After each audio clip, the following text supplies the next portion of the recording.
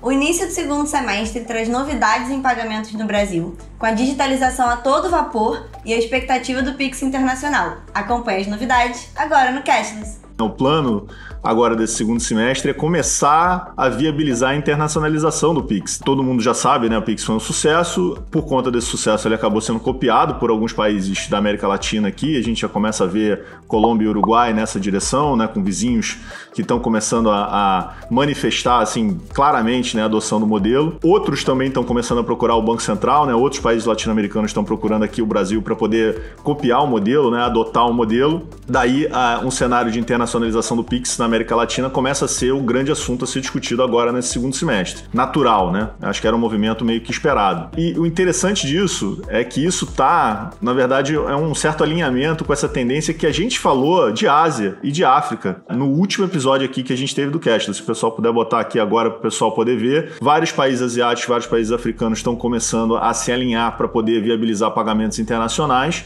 O Brasil começa a entrar nessa direção também e o Pix talvez seja o grande caminho. Tem sentido isso, né? Porque primeiro a gente está vendo esse crescimento do e-commerce internacional, então isso facilitaria, derrubaria uma barreira muito grande, né? Pagamento é uma dor, né? Nessa lógica de você poder aumentar esses pagamentos via e-commerce internacional, o fluxo né, de negócios com pagamentos internacionais. E você tem uma comunidade de mais de 280 milhões de imigrantes internacionais, né? Gente que tem uma demanda por alternativas para poder fazer pagamentos internacionais. Aqui no Brasil, né? esse número naturalmente não é tão grande.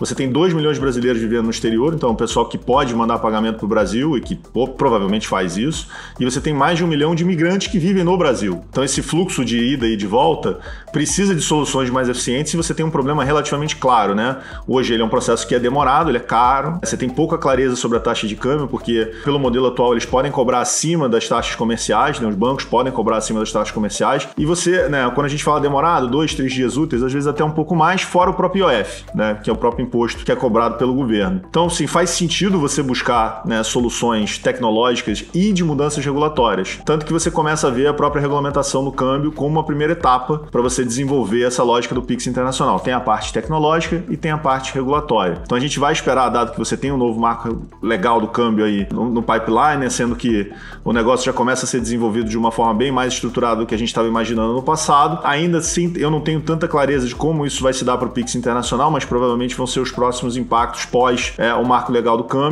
em regulamentação no Banco Central para poder viabilizar esses processos de pagamentos internacionais. Acho que é, é uma tendência global, você está vendo uma quebra dessas barreiras de um perfil de pagamento que ainda é doloroso, que ainda é demorado e que ainda é caro. E aí, para vocês também acompanharem, é só se inscrever no canal, ativar o sininho, continuar assistindo Cashless e até semana que vem. Clica aí, gente. Tchau.